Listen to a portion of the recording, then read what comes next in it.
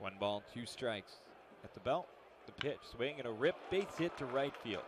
Home from third is Marco Hernandez. Whitty hustles towards second. The throw goes towards the middle of the infield. And hustling out of the box is De La Cruz. He gets a double. An RBI double makes it 5 0 Sea Dogs in the top of the second inning.